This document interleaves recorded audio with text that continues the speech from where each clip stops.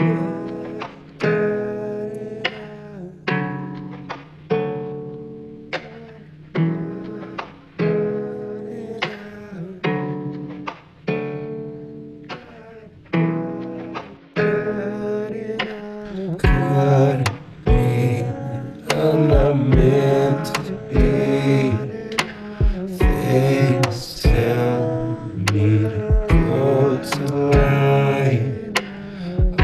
I need my tranquility.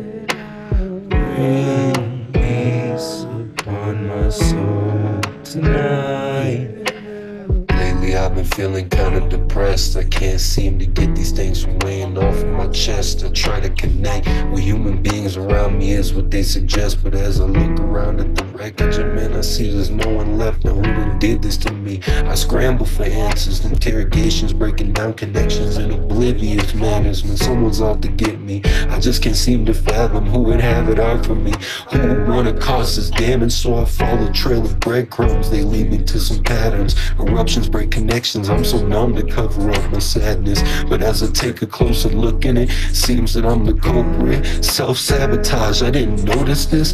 Shame leads to denial, denial leads to shifting blame. Instead of pointing fingers, maybe you should sit and pick your brain. Maybe at the root, you're the cause of all your branch of pain. Savor all this fruit, and if it's bitter, grow a different way. I'm not meant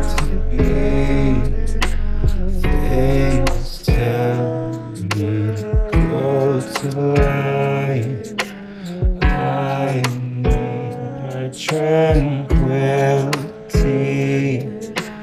Bring peace upon my soul tonight.